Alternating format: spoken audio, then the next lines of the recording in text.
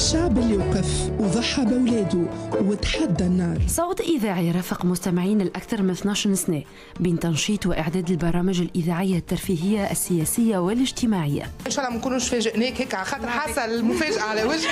لا مرحبا بكم تشرفوا نورتونا. أهلا وسهلا لالة donc إحنا عندنا كل معناها تقريبا كل نهار بعد نهار un défi على جوهر FM وال défi نتاعنا لليوم اللي إحنا ندقوا على دار في البيت العربي. إذا كان حلت مولات الدار وعشاها فوق الغاز تربح معنا ولد العام هي إيمان الفجاري متحصلة على الأستاذية في اللغة والآداب الفرنسية. غرامها للمصدح خلاها تدخل المجال الإعلامي وتقدم برامج حاولت فيهم إنها توصل آراء المواطنين وتحكي قصص نجاح. عمرك شريت الياسمين يبيع الياسمين. هي امرأة تونسية وجهها يحكي بلا كلام يحكي على رحلة 40 عام في صنع المشموم وبيع الورد هي أول امرأة في سوسة شمرت على ذراعها صنعت بوكيات النوار ومشامم الفل وخرجت للشارع. على صفحتها الخاصة على الفيسبوك. تعرفت بمواقفها ونقدها للواقع التونسي والإعلامي. غابت فترة قصيرة على المزدح وترجع لنا إيمان الكاتبة. في أول إصدار لها رواية قصيرة تحكي على الطبقة الاجتماعية الوسطى في قصة حب ثارت على القيم في المجتمع فكانت هاشتاج 14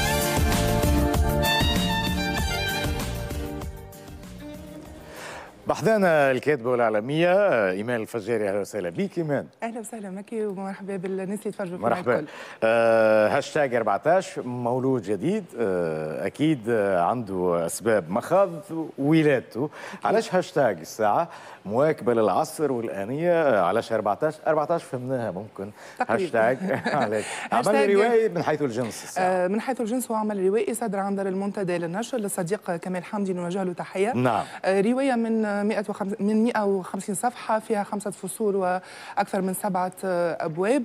هاشتاج يعني إذا تحدثنا بلغة التكنولوجيا سنجد أن الهاشتاج هي الاختصار الحديث. صحيح. بمعنى إنه قديما كان الناس إذا يريدون القراءة عن الحب يلجؤون إلى المجلدات أو إلى الكتب القديمة. حاليا يكفي أنك تعمل. هاشتاج. إيمان.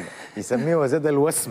الوسم. أكيد عندك فكرة. علاش مش وسم 14 justement هي رواية قريبة من الشباب. ربما أنا آه، من مثل الجيل أواخر السبعينات أوائل الثمانينات وأوائل التسعينات وبطبيعة الحال هذه اللغة الحديثة حاليا. متداولة أكثر. آه، ربما أكثر على مواقع. التواصل الاجتماعي بطبيعة الحال. ولغة آه، هذه هي لغة عالمية. يعني كي نقول هاشتاج العالم الكل يفهمني هاشتاج لكن تبقى بطبيعة خصوصية اللغة العربيه محدودة شوية في كلمة ال- الوسم.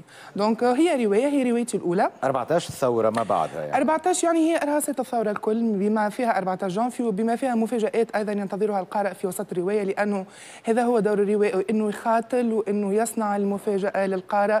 يعني أن القارئ باش ينتظر حاجة لكن ينجم يلقى حاجة أخرى. صحيح. آه، من ناحية هو تخيب 14. أفق الانتظار يسميوها النقاد.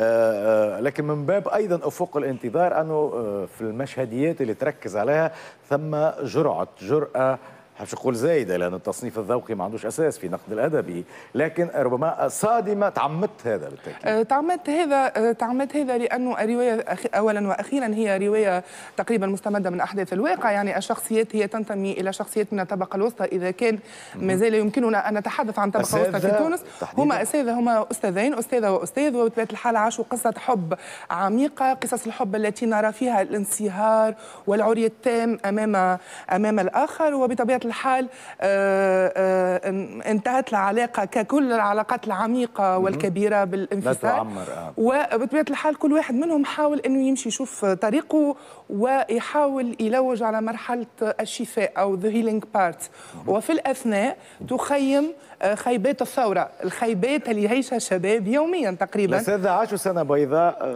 سنة بيضاء للحب. عاشوا عاشوا ويعيشون سنوات سنوات بيضاء. اخترت الاساتذه والرواية كتبت في المرحلة مهمة برشا تاريخيا أظن اللي هي مرحلة آه، آه، ناجي جلول وقت اللي كان على وزير التربية. آه، وزير للتربيه بطبيعة الحال. وفي الرواية فما أجزاء كبيرة جدا. الحقيقة نراو التجاذبات هذه. التجاذبات هذه نراوها في الرواية بطبيعة الحال لأنه شخصيات تعكس وتتحدث على مواقفها برغم اللي هما أساتذة لكنهم يحاولوا يوصلوا مواقفهم من اللي صار في تونس في الفترة إذا هذيك رواية واقعية مش فانتازيا مش تخيل يعني هي رواية. فيها استلهام يعني هي فيها استلهام. من بعض الحكايات اللي أنا عاشرتهم أو ربما ريتهم أو طلعت عليهم خلال عملي في الإعلام. ولكن زاد من أجل الحبكة الروائية كان لابد لي أن أخلق آه، ربما آه، نوع من النحت الروائي باش الرواية تتكامل ويكون عندها مضمون وتكون عندها حكاية قوية بطبيعة الحال. في الآخر هو صراع نفسي. فما جانب مهم برشا مكي أغفلوه تقريبا آه، الأخصائيين نتاع علم النفس أو علماء النفس أو علماء الاجتماع اللي هي نفسية التونسي ما بعد ثورة 14 نعم. جانفي نفسية التونسي كانت كانت جزء آه، نطلع عليه في بعض في بعض ربما ال- المقالات آه، تونسي حزين التونسي ليس سعيدا. ولم يبحث. أحد عن داخل هذه النفسية. بمعنى ما الذي جعل التونسي اليوم يحس بالخيبة يحس بالأحباط؟ عملت حفر أنت من خلال شخصية الاساتذه نعم justement عملت. حفر من خلال شخصية الأساتذة ومن خلال زاد بقيت شخصيات في الرواية. آه. لأنه الكتابة النفسية هي كتابة تكتب في العمق في العمق الإنساني وبطبيعة الحال هذا يستوجب آه، سنوات طويلة من البحث ومن التعلم وهذا اللي عملته لأنه الرواية كتبت في مدة تقريب أربعة أو أكثر آه، من. ذلك. مش اسالك على مناخات الر- الرواية ومناخاتها يقال أن الرواية فن مديني بامتياز والشعر له حظ البداوة مثل ما يقال ربما أو صفاء البادية. مناخ المدينة مهيمن مسيطر؟ بالعكس تماما. طبع أحداث آه، الريف. بالعكس تماما لأنه بطل الرواية عيسى وهو أستاذ تربية مدنية آه، يدرس في قعفور وقعفور هي المدينة ال- الهادئة مدينة سكة الحديد. وبطبيعة هو ذهب إلى قعفور ويقول أنه قعفور تنبت ما أكلته العاصمة منه. ولكن زاد وداد بقات في العاصمة. وبطبيعة نراو زادك الزخم وكالقوة وكالحركية نتاع العاصمة. لكن هذا ما ينفيش إنه في الرواية نوظف بعض الأغاني البدوية كيف كيف من ريف سليانه تحديدا وتحياتي لأهالي سليانه اللي يسمعوا نعم. فينا ويتفرجوا فينا واللي الحقيقة فما روحة كبيرة أنا خدمت فيها في الرواية هذه من منطقة هذيك ومن جهة تعرف سليانه اذا سليانه وقعفور نعم أنا. تنقلت تنقلت جدا معناها باش نجم نكتب الرواية كان لازمني نعايش ونتنقل إلى ولاية سليانه كان لازمني زاد نتصل بالعديد من الأخصائيين النفسيين باهي زملائي آه، مستهلكين ومواكبين الأعمال الروائية آه، شيماء عندك تعليق أو حبيب ليه الحقيقة أنا أمي معاها في فيسبوك وشفت فرحتها كيف أعلنت أنه رواية ليس أجمل من ولاد كتاب. فعلا هي كنت فرحانة برشا و- وأنا باركت لها في انتظار أني نقرأ رواية. الحقيقة اليوم حبيت نشريها ما ما تسن ما, ما نجمتش نسختي.